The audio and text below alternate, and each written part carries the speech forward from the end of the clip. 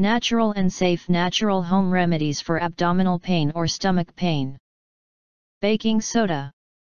Baking soda is also referred to as sodium hydrogen carbonate, bicarbonate of soda and those who are.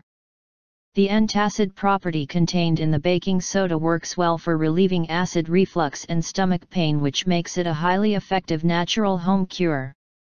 To organize natural antacid in the baking soda just add half teaspoon of baking soda to half cup water. However, baking soda simultaneously also includes sodium therefore people who are on low sodium diet or struggling with high bloodstream pressure should be careful while using the baking soda. Warm water bottle usage. Use of warm water bottle to stomach after taking food works well for growing circulation through how excess.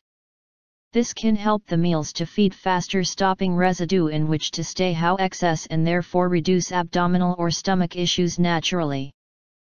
Oatmeal Oatmeal can also be extremely effective home cure to get rid of abdominal pain or stomach pain.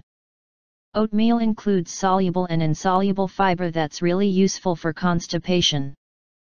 Aside from this oatmeal can also be very advantageous to maintain levels of cholesterol, stopping cancer, works well for weight reduction and looking after bloodstream sugar levels.